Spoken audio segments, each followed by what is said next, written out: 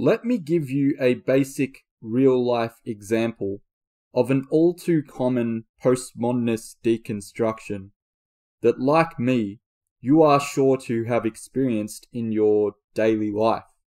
The instance of a time that you or anyone else are having a conversation and use the word, quote, normal, and then unironically hesitate before clamoring to define what you mean, as if to say, what even is normal anyway, am I right? Then following up that with laughter. To put it bluntly, one should think very hard before they question fundamental things. It is not normal to flippantly question what is normal. If there is to be any standard or regularity in life, what is normal ought to be inherently known and inherently felt, and it could be argued that it is inherently known and felt already. It could be argued that it is primordial and always has been as something synonymous with terms such as fact, truth, instinct, rationality, reality, is, and the fabric of being. The very act of questioning something as fundamental as the meaning of the word normal has a profound effect on the functions of language and culture. For such questioning to be passed off as harmless, trivial, humorous, or inconsequential demonstrates the stranglehold that postmodern absurdity has on the Western world, or demonstrates the power of virtue signaling. And it's frankly evidence of how deeply entrenched the issue is or has become, especially for this seemingly innocuous situation or innocuous comment to be so commonplace. I am aware of the irony of bothering to explain what is, or what ought to be, already obvious, as evidence of the point I am making, which is why I wish to make it, because it ought to be an obvious thing, but it has clearly been forgotten, deliberately or otherwise. In saying that, perhaps I am a fool in pointing all this out in the first place, because it is likely already too late, as at present it cannot even be comfortably agreed upon as to what the definition of normal is, and that is a dire situation indeed. It could be argued that culture is a society's immune system, and objectivity is its first defense. Thus, every high culture and civilization decays by forgetting obvious things. For example, it is common to be asked the question, do you think Black Lives Matter? Or do you think White Lives Matter? Naturally, it should be self evident, a priori truth, or at the very least a noble lie, and therefore entirely unnecessary to state that lives matter, or that life is, quote, important, or has power and inherent value. Of course, life is important, and of course, you see it as important. Just by existing, you've been imbued with the will to live. If life wasn't important to you, or to anyone else, you would be a nihilist, and you may negate life, see it as pointless, and would not even be here to claim it is important. Thus, the answer to the question of whether the lives of Group X or Group Y matter should be this why do you need me to validate whether either matter? I choose to still be alive, and I have not harmed anyone. So of course I think life matters. Of course I think life is important. Yes, you exist, and your life has inherent power and value. Congratulations.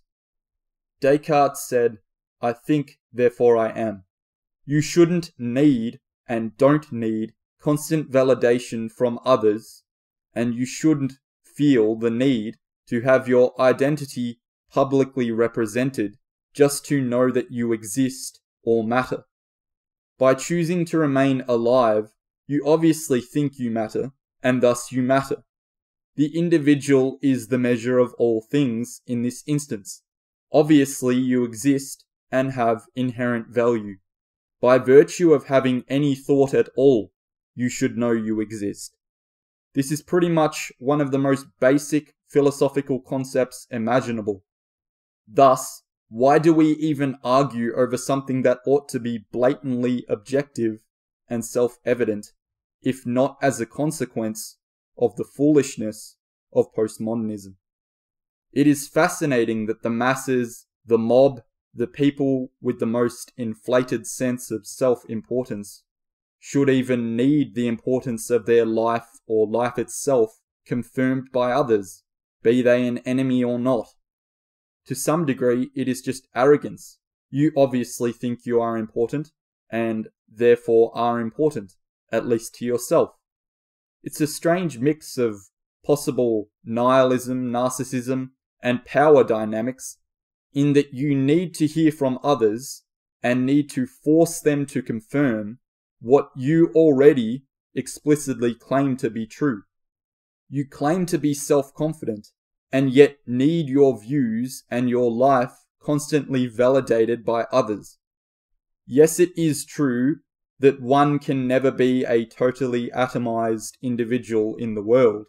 Even the idea of being atomized is always thought of in relation or reference to others through the language of both our inner and outer voices.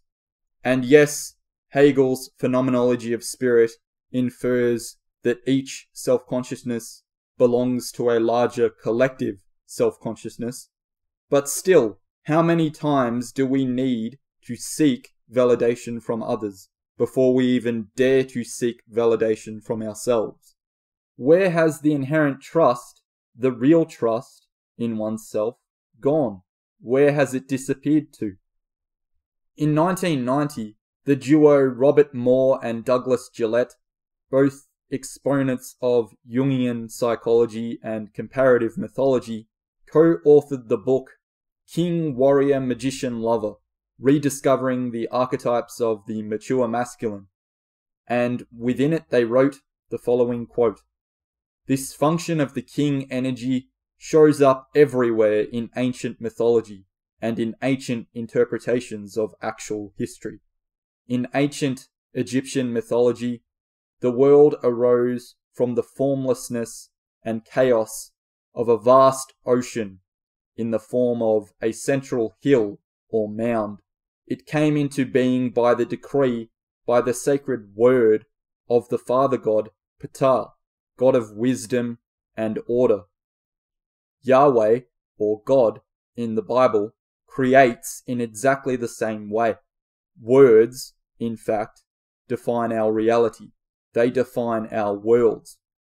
We organize our lives and worlds by concepts, by our thoughts about them, and we can only think in terms of words. In this sense, at least, words make our reality and make our universe real. Thus, it could obviously be argued that political correctness, cancel culture, and postmodernism in general are direct attacks on the sacred word, on logos, attacks on the sanctity of speech and debate itself. The gradual altering of definitions and elimination of objectivity in words and language in particular is a deliberate attack on the very fabric of the universe as we know it, an attack on what it means to experience reality, and ultimately what it means to be human. Because, evidently, those that ceaselessly attack don't like the universe as it is, or they don't like the human experience that we currently have on a deeply fundamental or even spiritual level.